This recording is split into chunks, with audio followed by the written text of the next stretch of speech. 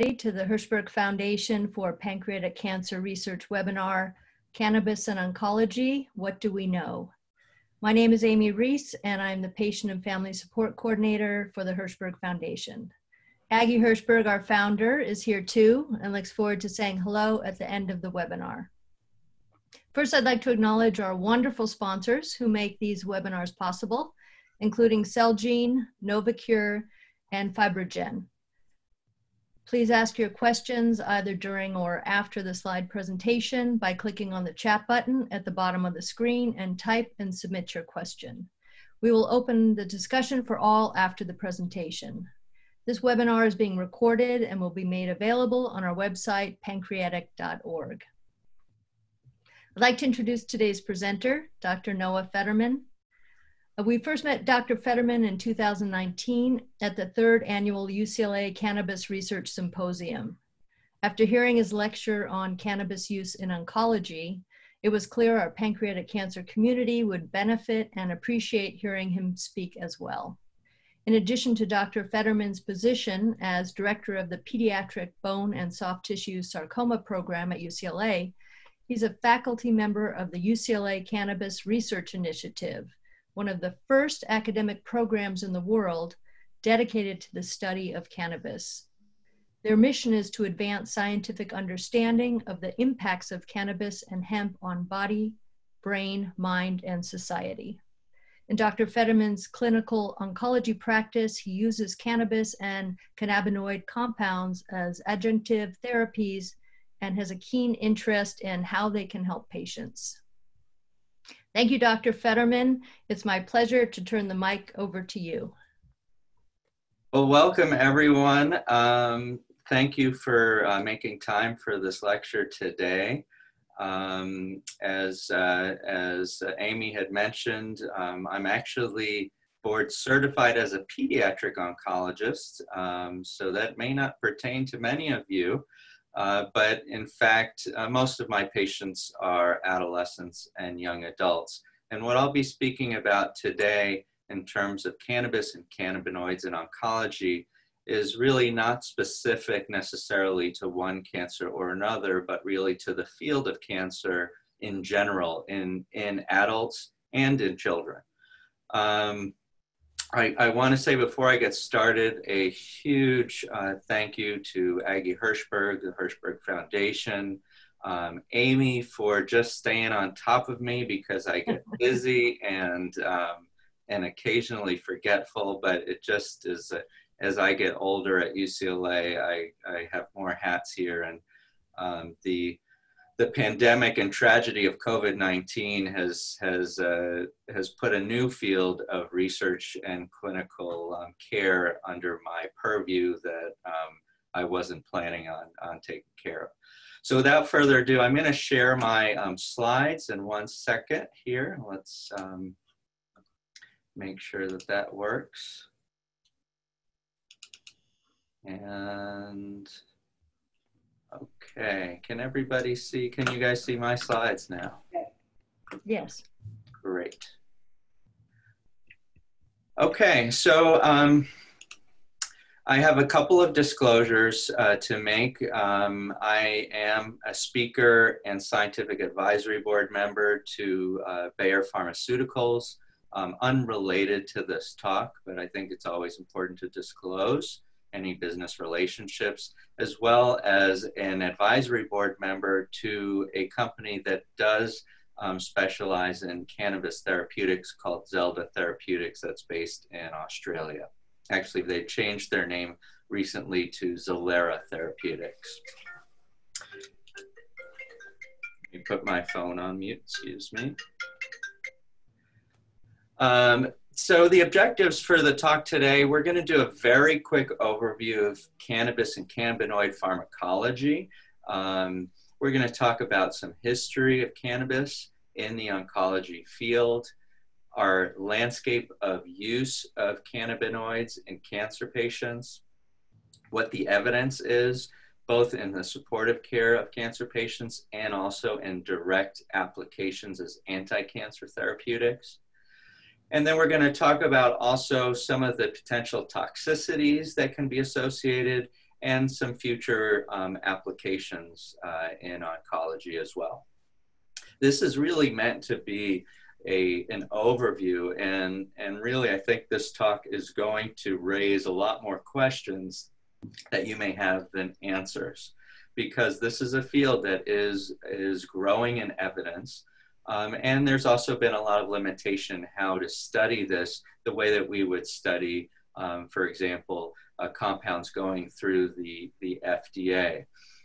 Um, what I will not be reviewing are, for example, specific um, uh, specific cannabinoid compounds that are not FDA approved. Um, I will not be discussing uh, a lot about uh, routes of, of therapy, um, but it's, this is really meant to serve as a background for, um, you know, a lot of the other, the nitty gritty that, that I may not be the best person to talk about, uh, nor is there a lot of evidence. So uh, first is what are the cannabinoids? I think it's important to know that cannabis um, and cannabinoids are the compounds that have come from the cannabis plant. And uh, for the purposes of this talk, uh, when we say cannabinoids, those are the chemicals that are constituents of the cannabis plant. The most common plant that you'll hear of is cannabis sativa but there are two other species, cannabis indica and uh, cannabis, uh, oh, it starts with an R, I always forget that one. Uh, and that one's much less common to, to, to find. In the, the cannabis plant, the active components, the two main ones that you'll see are delta 9 tetrahydrocannabinol, or what I'll be referring to for the remainder of this talk as THC, and cannabidiol, which I'll be referring to as CBD. Those are the two main components. But in fact, there are roughly 400 or more other compounds in cannabinoids, such as cannabinol, CBN, um, terpenes, and there are um, hundreds of terpenes that may actually have their own uh, function uh, in terms of, of their activities, and then other constituents of the plant, uh, which include hydrocarbons, nitrogen compounds, amino acids, flavonoids, other vitamins, etc. And, um, and then there are, so this is a sort of organic cannabinoids, um, and then there are synthetic cannabinoids that we'll talk about.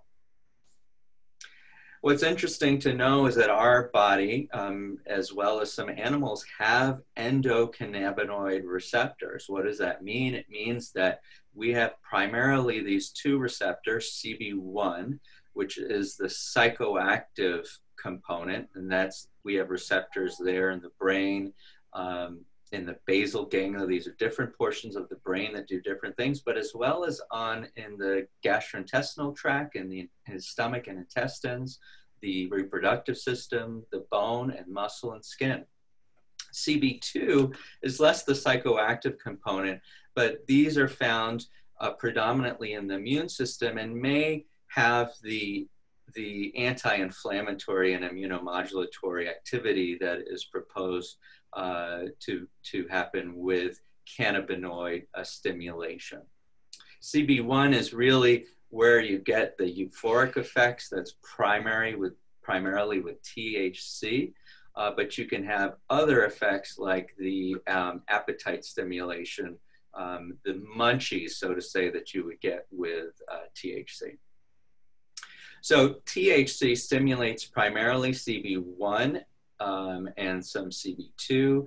CBD, uh, cannabidiol, cannabidiol, is less potent on CB1 and CB2. It may stimulate other receptors we don't know about, and it may actually result as an antagonist balancing the effects of THC. This is an area of really active, um, active uh, discussion and research. So there are synthetic and semi-synthetic cannabinoids. These are cannabinoids that are out in, um, that are going through the, that are either approved by the FDA or in the EMA in Europe. Um, the most common one that you'll hear about is dronabinol or marinol. And uh, this is a synthetic compound of THC. It's available by prescription in these, um, in these capsules, and it's FDA approved for uh, chemo uh, resistant nausea vomiting. Namisol is another form of THC. It's in an oral tablet. Nabilone, otherwise known as Cesamet, is FDA approved for chemotherapy nausea vomiting that doesn't respond to conventional therapies. Nabiximols or Sativex is a cannabis extract. So this is the full cannabis extract um, that's approved in the UK that in general has a one-to-one combination of THC and CBD, whereas the above medications are just pure TH, synthetic THC.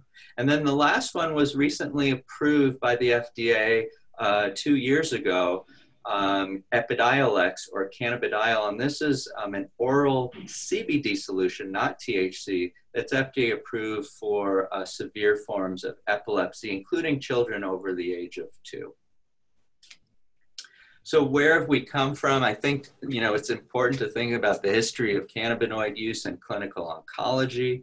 Um, there's been a very long history of cannabinoids for medicinal use, we believe, over 5,000 years. And on the right is a picture of a mummy that was found with a satchel that was believed to have um, cannabis uh, flower in it.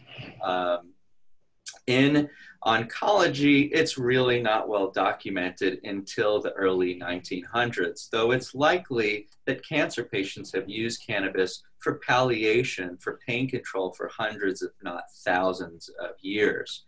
And this is an old Parke-Davis um, glass bottle that, that um, has cannabis as a fluid extract here. In the 1950s and 1960s, the first chemotherapeutic agents were really in widespread use. And one of the issues that we had with the, with the chemotherapies that we started using for leukemia, for lymphoma, for breast cancer was that they were truly, these were quite, these were powerful compounds that cause powerful nausea and vomiting. And they're really ineffective uh, medications for nausea and vomiting at that time. Now we have a a, a, much larger armamentarium, although there's still those patients that really suffer um, with these side effects. And that's where we saw widespread use of cannabis um, in the supportive care of these oncology patients. Um, interestingly, you know, in the chemotherapy realm, with highly nausea vomiting or what we call emetogenic compounds, um, patients were using marijuana in an illicit sense, and in an illegal sense, to control both cancer pain and uh, chemotherapy induced nausea vomiting that we, uh, we call CINV. Um, and this is something that we know, I mean, we have patients um, that to this day are, are smoking marijuana or ingesting marijuana in different ways. You know, stories that my mentors would tell me how they would send the parents or the patients to the bomb shelter or under the pier in Venice Beach to um, obtain marijuana because their nausea was so terrible. This is one of the first reports, I think, in a prominent um, uh, journal, and this is, uh, we all know, the New England Journal of Medicine, one of the uh, most prominent journals that we look for the um, highest level of, of research quality. And this is a publication from 1975 um, looking at the anti um, nausea effect or antiemetic effect of THC, here delta 9 tetrahydrocannabinol, um, in patients receiving chemotherapy. And, you know, a small study um, you know, 20 patients that got THC versus uh, uh, versus uh, those that got placebo. But you'll see that um, there was an effect in in most of the patients that got THC, and none of them that got the placebo. And this was reported as statistically significant. This is one of the earliest sort of higher quality research papers, although um, only uh, really 20 evaluable subjects uh, were here. So in 1979, um, THC is being more reported again, and, and these are patients getting high dose chemotherapy, high dose methotrexate. Um, in 1981, the National Cancer Institute, the NCI, um, in, initiates a THC distribution program nationally. In the same year, the government sells dronabinol or Marinol uh, to the company Unimed. Unimed is now trying to get this um, FDA approved, and in 1984, the FDA, after reviewing Unimed's Marinol application for a new drug uh, application, rejects it, saying that their clinical testing was deficient. But in 1985, a year later, they re-review it and approve Marinol for nausea and vomiting associated with uh, chemotherapy. But these are patients that have already um, that are having refractory ongoing nausea and vomiting in the setting of conventional anti-nausea medications. And interestingly, three years later, in 1988, the DEA judge Francis Young recommends that marijuana actually be placed rescheduled. So it's a it's currently a Schedule One classification. It was back then. That means it's an illicit drug with a high propensity for abuse, and reschedules marijuana. He recommends it to be rescheduled to Schedule Two um, for nausea associated with chemotherapy. But in fact, the DEA, the Drug Enforcement Agency, overrules um, that judge. So it remains to this day as a Schedule One drug. Now we're going to take it fast forward and we're going to go to, to 2018 and 2000 and, up to now, 2020. And um, this is just a press release from the American Society of Clinical Oncology um, and looking at a study of um, medical oncologists. And these are medical oncologists um, that were polled. It was over 400 medical oncologists about their knowledge regarding marijuana use, um, what they're what they're basically um, discussing with patients, and what the utility is. And and what you'll see here is that that almost 80% of medical oncologists are having a discussion with their patients about marijuana, cannabis, cannabis and cannabinoid use. I think that is really impressive um, in the current day and age that, that the majority of med- medical oncologists are saying they're have a, having a discussion. And then, you know, in contrast to that, you'll look at the number of medical oncologists that feel that they're knowledgeable in cannabis, um, and that is you know less than a third of them feel that they're they're knowledgeable. But with this sort of uh, knowledge deficit almost half of them are recommending uh, marijuana or cannabis use in their oncology um, uh, patient population. So i think this is a very re- revealing slide um, to really show how prevalent this is in the oncology patient population and i think if you really delve into this looking at the patient side, most patients are wanting more knowledge and would obviously be thrilled if their physicians knew more about it. If you look at oncologists and and what they believe in effectiveness versus pain treatments, um, you'll see that about you know they're split fairly evenly as a third that are equally or more effective um, to less effective that or don't know, and that two thirds actually believe um, that that uh, cannabis, cannabis and cannabinoids offer um, an a, offer utility as as an addition to standard pain uh, control in uh, in cancer patients. Um, I think what's important is to look also at there's a lot of buzz for cannabis, cannabis and cannabinoids um, in anti-cancer therapeutics. Um, and this is a, a, question that I get asked, you know, almost every week by my patients. Um, and, and what I say to them is, yes, there is preclinical evidence. And that means that there's evidence in petri dishes and in evidence in um, animal models and we all know that that evidence doesn't always translate to evidence um, supporting its use in human beings as an anti-cancer um, medica- as an anti-cancer medication. and ways that um, cannabinoids may work. Um, we don't need to get into the details, but there are many cancer pathways that we target with other, uh, you know, more sophisticated medications um, that may be mediated by cannabinoids. So that being said, you know, in if we look at the preclinical models in rats, um, there have been studies showing that both cannabinol and THC can inhibit lung cancer. We know that there are CB1 and CB2 receptors in lung and breast cancer, and that's a potential target. Um, there are cannabinoids that show anti-tumor effects in, again, preclinical models of breast cancer, brain tumors as well. Um, and we do know that potentially there is possibility for enhancing um, uptake of chemotherapy into cancer cells. Again, you know, there is a signal that there may be an anti-cancer effect, but the human evidence is lacking.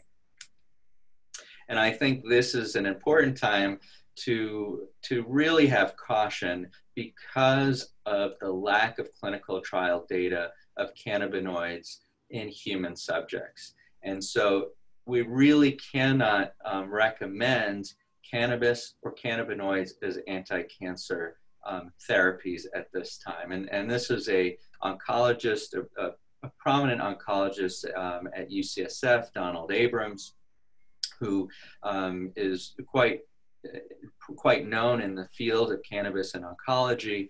And, and he says, I think, wisely, what saddens and disturbs him most is that when he sees a patient with a potentially curable malignancy who's foregoing conventional cancer therapy in hopes that cannabis oil will be a kinder, gentler treatment. The fact remains that there is no evidence at this time to support such a decision. Where there is a lot more evidence is in chemotherapy induced nausea vomiting or CINV. Um, for those of you in the audience that have that that have cancer that have received these types of compounds that cause um, just horrible nausea vomiting or have family members that have received this you know what it's like. And that is that some of the agents that we use to try and prolong life or cure you of disease can uh, cause the worst um, side effects in terms of nausea and vomiting, um, feeling like you're on 12 foot seas um, in a small boat. And, and here we know that the um, receptors of CB1 and CB2 are actually both in the stomach and small intestine and signal vomiting centers that are in the brain.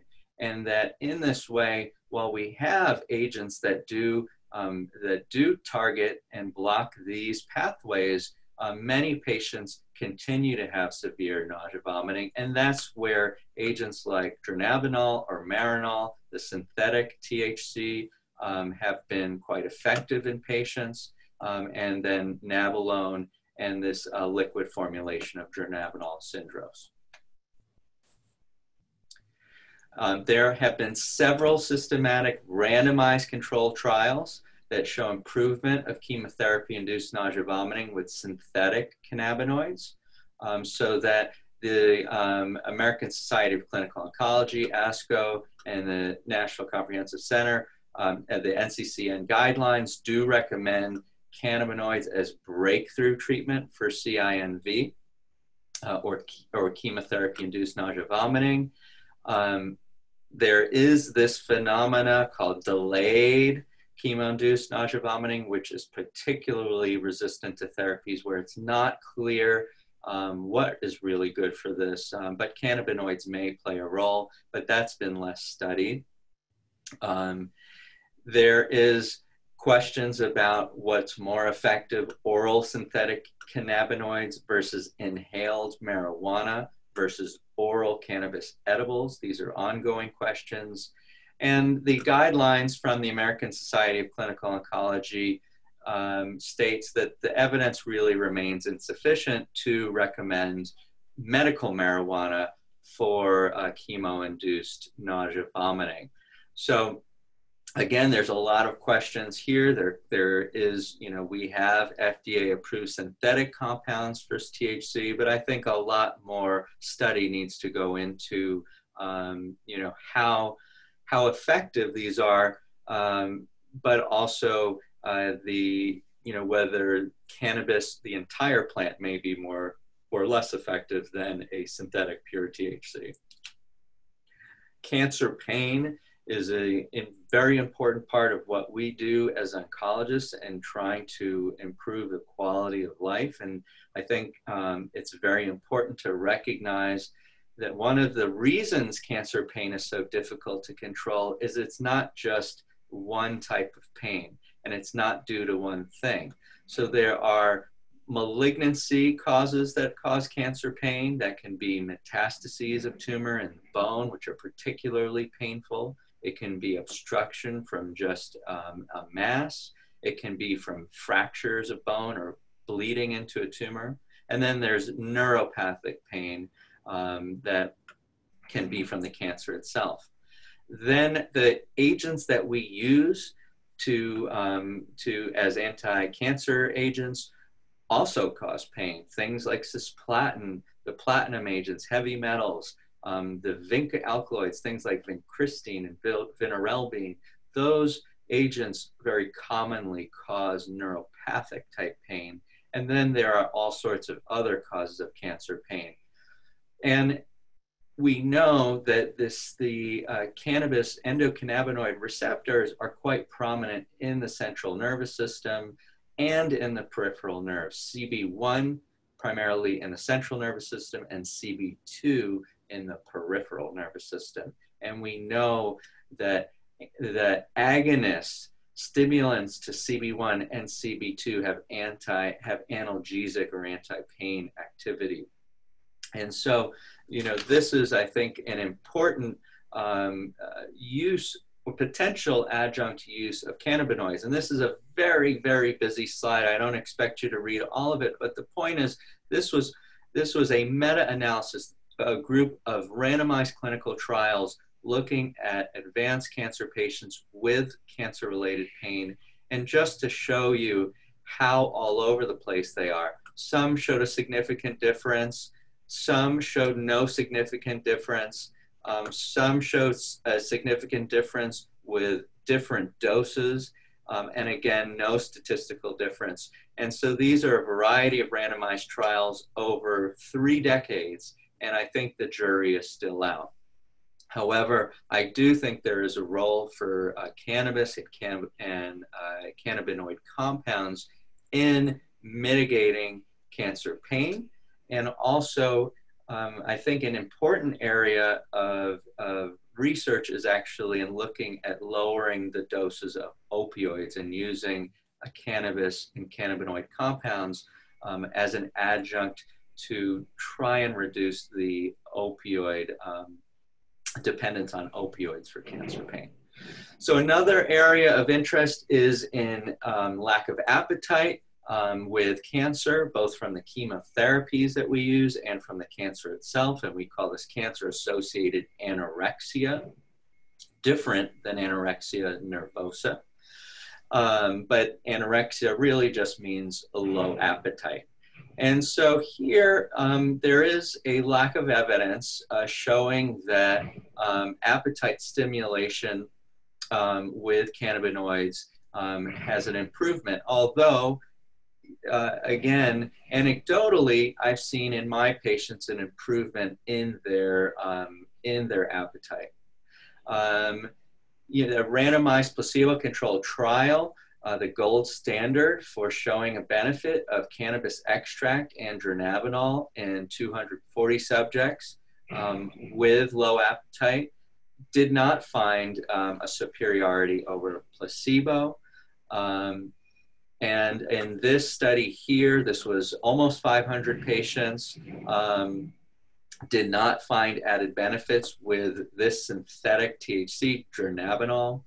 Um, however, in HIV AIDS, there was a significant increase in appetite and weight stimulation. So I think there is, again, this is an area of active um, research and one that um, I think in the next few years to come, hopefully we'll have more evidence um, in terms of the use of this as a supportive care agent in cancer patients that have low appetite. And certainly, again, anecdotally, from my patients, they do say that it improves the ability for them to, um, to eat and maintain weight. Again, this is um, a personal experience here. Um, and uh, I think it's important, especially in the oncology population and the pancreatic cancer population, is talking about palliation and, and the experience at the end of life. And this has been used for a couple hundred years. Um, one of the, uh, the first remarks on, on cancer, on, well, cannabis at, at the end of life is from um, this Indian a physician, Sir William Brooke O'Shaughnessy. Um, in Cal, he was actually English, but was in India at the time.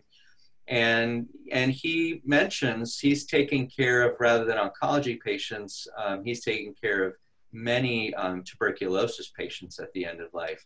And he says that it's evident that an advantage was, was gained from the use of this remedy, um, that patients were sort of eased into the end of life and he was able, in his words, to strew the path to the tomb with flowers and divest death of its specific uh, terrors.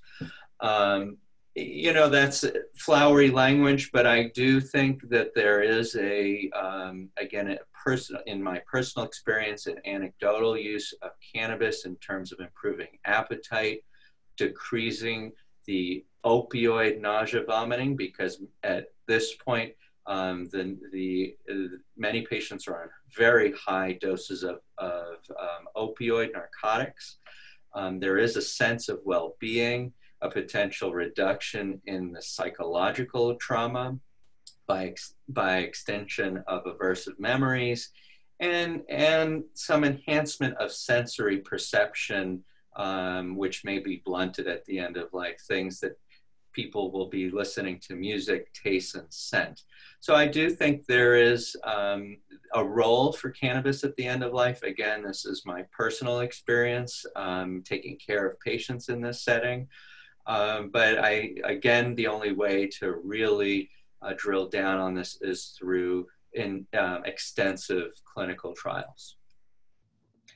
Patients ask me regularly, well, can cannabis cause cancer? Um, and that's certainly an important, um, important uh, question. There's conflicting evidence again. Um, some of the best evidence comes from the Kaiser system, where they looked at almost 65,000 patients in the uh, Northern California area, San Francisco and Oakland, from age 15 to 50 um, over almost a decade. And they found that marijuana use and cancer was not associated. And this is interesting because really the majority of the patients were smoking marijuana, something that we, you know, believe is not helpful to your lungs, um, but did not seem the same way that tobacco is associated with lung cancer. Um, in a systematic review of 19 clinical studies looking at cancer risk and inhaled cannabis, um, there did not seem to be any association with either precancerous or cancerous lung lesions. So at this point, it doesn't seem like there is an increase in cancer incidence with using cannabis, but again, there are some conflicting reports. So I think the jury's still out. What we're not going to get into as much here, but I think it's important to note that there is different pharmacology and pharmacokinetics. And what I mean by pharmacokinetics for this, the lay population, is that different formulations of cannabis and different ways of taking it in may have a different activity. So, for example, um, edibles, oral cannabis, may have low and variable um, bioavailability to your body. Um, and we find that there's also a difference in the peak concentration of THC and CBD in the plasma, in your blood, um, when you take it orally. Um, for example, edibles and oils, and even an edible and oil will have different um, kinetics. uh, where, whereas it can take hours to get to a peak concentration, and then it can last for a long time, up to 20 to 30 hours. Whereas an inhaled cannabinoid, whether you're smoking it or vaping it, um, that is rapidly absorbed in the body, and you can have peak concentrations within two to 10 minutes, but the amount in your blood will decline quite rapidly over 30 minutes to an hour. And so that I think is important in terms of what you're trying to achieve. It's also important to know that cannabinoids do interact with with the liver enzymes that also metabolize other med- medications, and that's called the cytochrome P450 system. Why is that important? Is because so many medications that we use use that system to for metabolism. And so this is a this comes up all the time, certainly with um, with oncologists and physicians that are skeptical um, about the safety of cannabis, and that is because cannabis is metabolized by cytochrome P450. You know, is there added toxicity with chemotherapy agents that also use that system, or um, with other medications that patients might be taking? Um, so I think it's important to know that THC, tetrahydrocannabinol, is an inducer of one of these enzymes. So it theoretically can do, you know, modulate the concentrations of, of common drugs like clozapine and olanzapine. Um, and CBD is also a potent blocker um, of the, or reducer of the activity of these two enzymes, CYP3A4 and CYP2D6 um, which is important because it might then increase the concentration of medications that use that, that system to metabolize them. So, you know, what I'm saying to, to, to distill this, what the conclusion is, is that, you know, theoretically there can be um, chemotherapy, changes with chemotherapy concentrations. That's something that is important to note. But so far, clinical evidence has not really shown too much effect on the pharmacokinetics of drugs like irinotecan docetaxel with cannabis, and there are other studies that are coming forward showing similar things. So while we believe it is safe with chemotherapy, we don't know the answer. And again, you know, I can't say this enough. We need clinical trials to assess the interactions uh, with chemotherapy.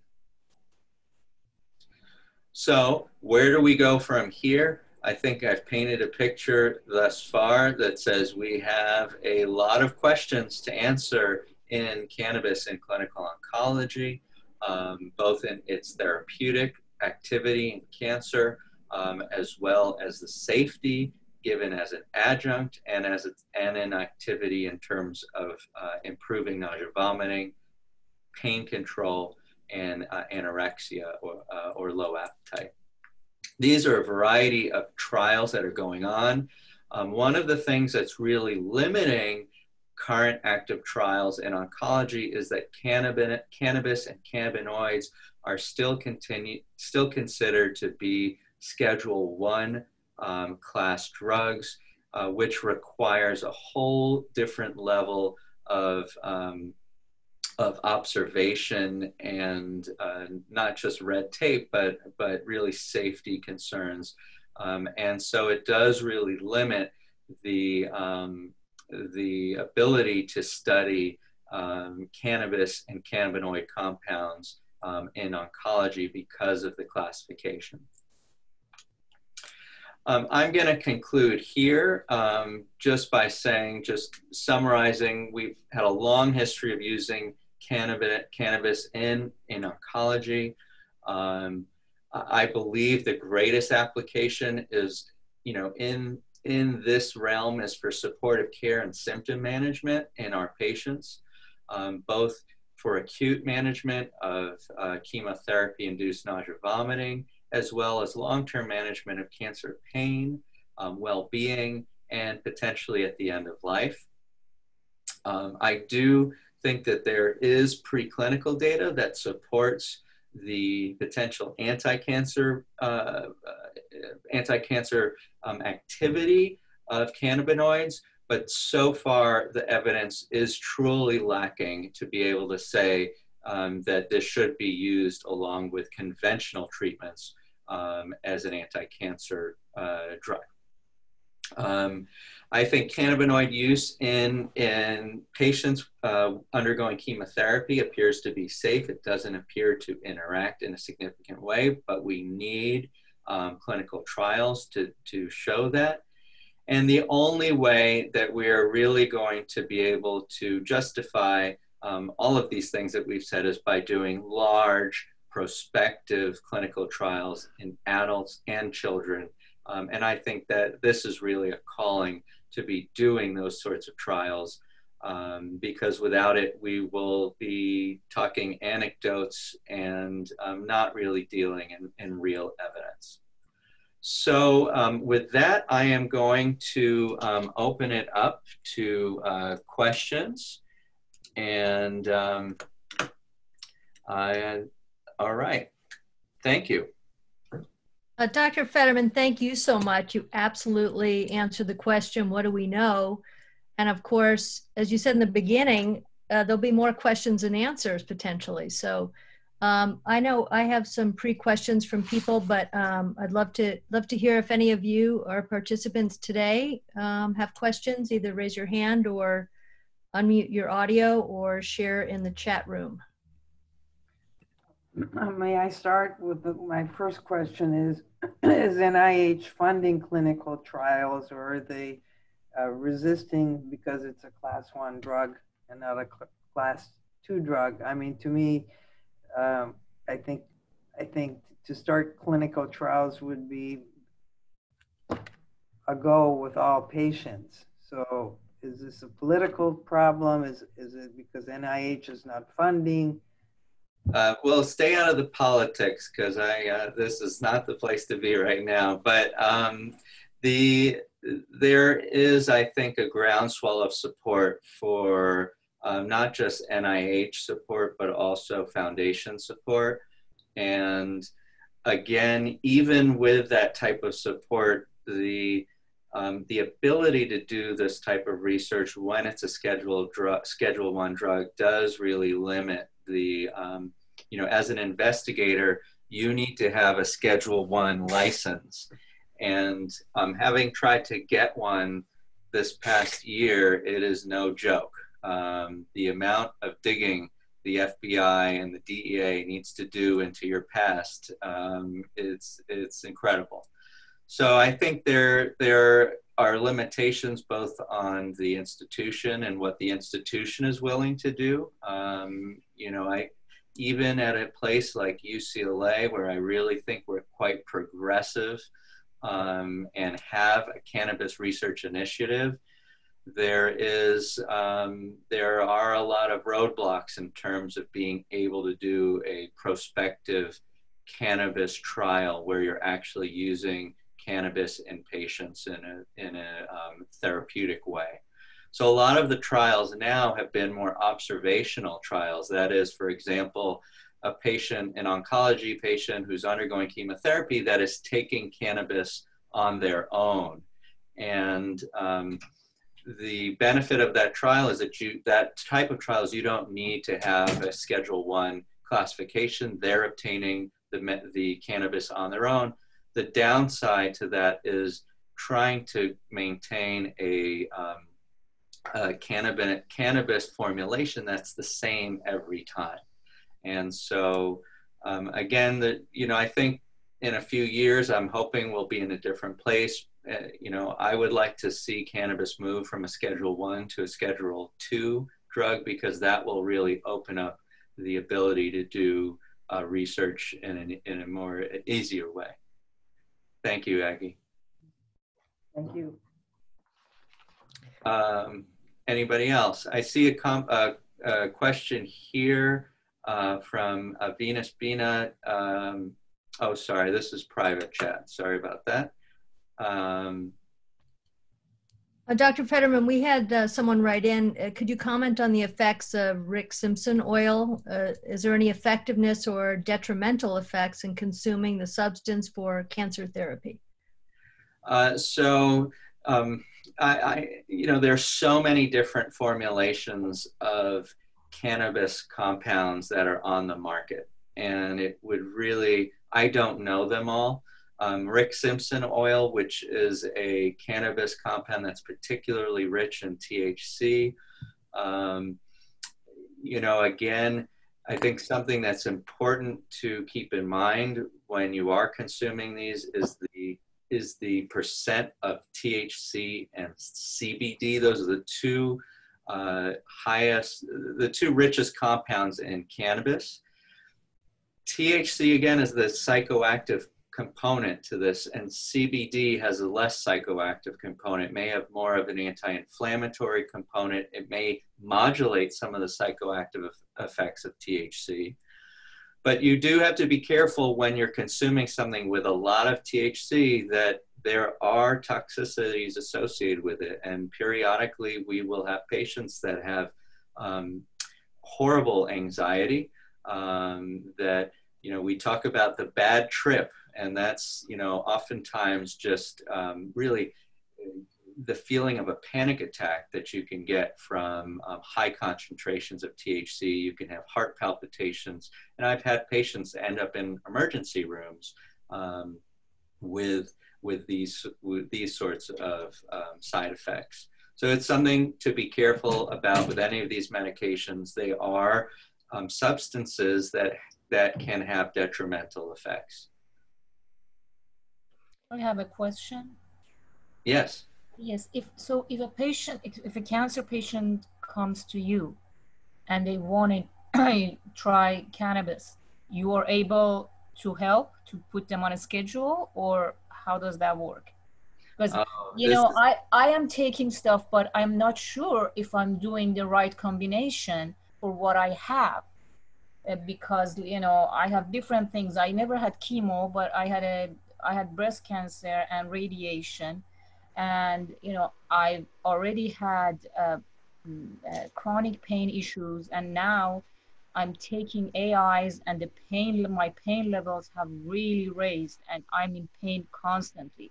So, so that's why I started that. So if I come to you, will you be able to put me on a schedule? No, for a variety of reasons. Um, and, and so I think that's very important. Um, you know, while this is something that I deal with on a, on a regular base, basis with my oncology patients, I also have restrictions that the university and our medical system places on me.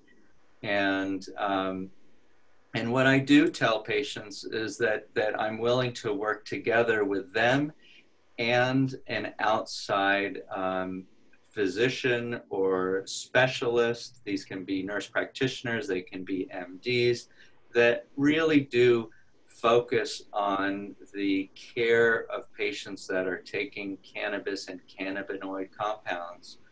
Um, and I think that's very important is to have your oncologist or your primary care physician or subspecialist partner with um, a uh, specialist in the community um, to help in your care. And that, that also helps alleviate, you know, helps me focus on the, on the cancer patient um, and on targeting the cancer and making sure that I'm dealing, I'm doing all the appropriate things with chemotherapy. In the end, I'm still a subspecialist, but I do think it is important to involve um, specialists, and there are many in the community. It's an expanding field. Um, you know, periodically I'm asked if this is something that I'd like to do for a living, and the reality is that um, I can only do so much, and you know, I'm still an oncologist. So it's a very good question, um, Venus, in terms of you know, what do I? I I didn't get my answer. So if I have my primary physician, okay, I mean they know, they know what's going on and they know I'm taking tea. But right, my response is that that I would have your primary physician, or you can reach out to a cannabis specialist in your community, okay. and work with your you know, to the extent that your primary physician is willing to work with them on a regimen that they believe is good for you. And what I say to patients um, as we work together um, is, you know, let's start at a very low dose and slowly, very, it's a low and slow approach. You start at a low dose and you very slowly titrate upwards. And, um, you know, and that's, that is, and there's, you know, you have to balance what is the ratio of CBD to THC. Yeah, but that's what I don't know what I'm supposed to to take. Right. You know, I started THC like five milligram in the, and I have severe insomnia. Right. So it was helping in the beginning. Now it seems my body has got used to that five milligram. But I don't know. I should I just keep raising it? Um, that's So that where I'm not going to give you medical recommendations on here, but I do think it's important rather than to do this in a vacuum. Um, you know, some of this is on your own trial and error. Is to try and find someone in the community that I does this for a living and specializes and Yeah, helps I- you. okay. yeah. Thank you. Venus, let, me- let me, let me add that if, uh, if you, uh, contact Amy, she'll give you, um, local doctors that specialize in those. Oh, fantastic. Okay, Amy. Thank you so much. Thank you. Of course, Can I have your uh, email? Can you put the, your email in the chat or? just I will, yes. Thank you. Thank you so much. Any other questions?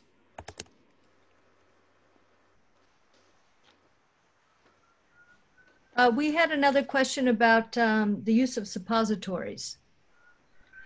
Um, so, y- you know, we didn't talk about all the different routes that you can take um, cannabinoids. Uh, sorry, there's a, I'm on campus here at UCLA. I'm one of the few people that's allowed back on campus, but there's ambulances passing by. So the different routes of cannabis, of, of taking cannabis, and, um, and there are many. Um, there are probably up to 20 um, ways of ingesting cannabis. Um, the most common are smoking, which I generally do not recommend, vaping, uh, which is similar to smoking, but it's not smoking. You're, you're using some heat source um, to vaporize um, to get the oils, uh, the cannabinoid oils, volatile. And then you're inhaling them. Um, cannabis oils, or tinctures that you use a dropper and you put in your mouth. Uh, cannabis edibles, so uh, you know this is candy bars, whatever brownies, whatever it is. Um, and then there are different ways of smoking that I don't recommend. There are different vaping techniques, like putting a vaporizer in your home, like the things you get at Target, and putting the, the oils in there. I don't recommend that either. Um, and then there are way, then there are other ways, which is um, suppository, so going per rectum. Um, and generally, I don't recommend that unless you can't um, take anything by mouth, and that is not uncommon in a patient with um, esophageal cancer, um, where you know they may not be able to swallow. And so that is a route. Um, there is topical, so putting uh, cannabis patches or creams, salves on your skin, but usually you don't get a, a large amount of cannabis in that way. Um, so, you know, my recommendation is uh, if that's the um, route that is, um, you know, is the only available route, I think it's fine. In general, I say don't be using anything uh, per rectum in a suppository when you're undergoing chemotherapy and have um, chemotherapy neutropenia, so you have a low white count, because um, you can induce, you can uh, cause infection that way. Other questions? If there are not, then, then uh, let me close by thank, thanking Dr. Federman for really an intense hour of, of, learning. And we know that there's so much more to do. I, I want to thank all the all of you. I see your names. I don't see photos. I see some from many friends from the foundation. And I thank you for being with us. And Dr. Federman, your I know your time is very valuable, and uh, we thank you from the bottom of my heart. Thank you. Thank you all. I appreciate your um, listening in on here. I will say that, you know, I did not dumb this down to anybody. Um, I really tried to maintain the um, level of evidence, the talk that I would give to physicians, but try to explain it more towards all of you. I hope it wasn't over your heads. But um, anyway, thank you. Um, Thank and you so much. Great lecture. Thank you. Thank you, Dr. Federman. Really appreciate your time. Have a Okay, good stay weekend. safe, everybody, please. And um, and uh, hopefully in six months we'll be able to go outside again. Hopefully. All right. Thank you. Bye-bye.